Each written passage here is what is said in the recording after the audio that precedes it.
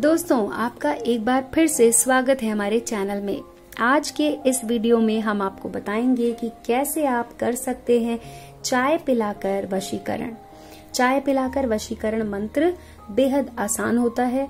जी हाँ जैसे कि हम सभी जानते हैं कि हमारे देश में चाय लोगों को बहुत पसंद है।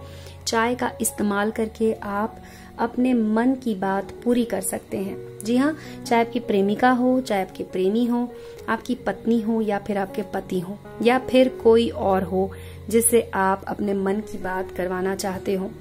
बस आपको बनानी है एक कप गर्मा गर्म चाय और आपको ये उपाय करना है। ऐसा कोई वशीकरण मंत्र या टोटका जो आप जानना चाहते हो जो कि बेहद आसान हो तो इस वीडियो को ज़रूर देखें। ध्यान से अंत तक देखते रहें। मैं आपको कुछ कुछ बातें बताऊँगी जो आपको इस्तेमाल करनी होंगी। चाय के द्वारा वशीकरण की विधि बहुत ही सरल होती है। इसका उपयोग इंसान के मन और मस्तिष्क को काबू में लाने के लिए किया जाता है। कुछ ऐसी चीज़ें जो आपको इस्तेमाल करनी होंगी, मैं बताती हूँ वो चीज़ें क्या है।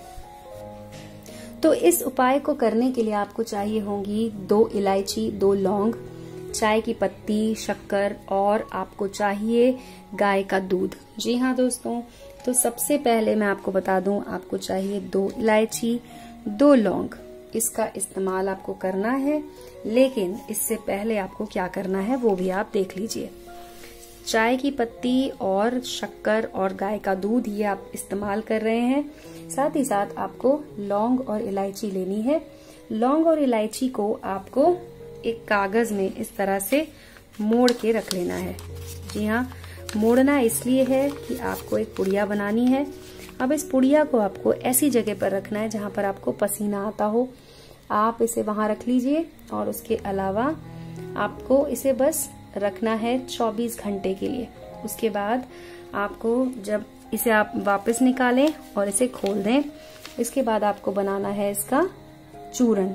चूरन यानी इसे अच्छे से कूट लीजिए और उसके बाद आप इसका पाउडर फॉर्म बना लीजिए।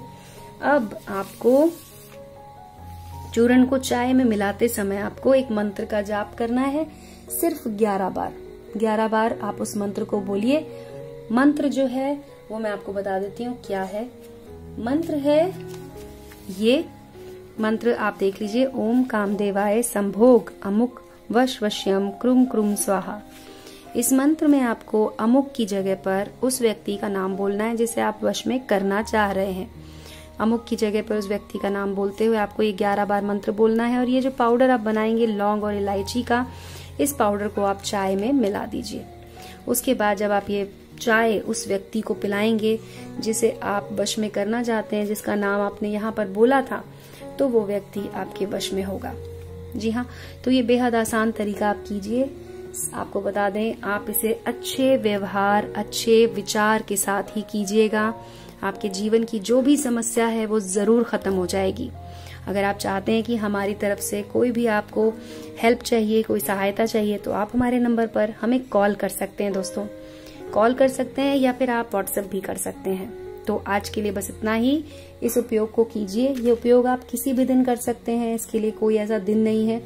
याद रखें, जिस समय आप इसको रख रहे होंगे अपने शरीर के साथ टच करके, उस समय आपको उस व्यक्ति का दिमाग में ध्यान रखना है। उस व्यक्ति की अगर आपके पास कोई फ़ोटो है तो आप फ़ोटो को सामने रखते हुए और उसको सोचते हुए उसके बारे में, उसके बाद आप लौंग और इलायची को अपने शरीर से टच करते हुए 24 घंटे के लिए रख दीजिए। इस तरह से ये उपाय आपका पूरा हो जाएगा और आज का वीडियो आपने हमारा देखा, उसके लिए धन्यवाद। हमारे चैनल को सब्सक्राइब कर लीजिए बेल आइकन को दबा दीजिए।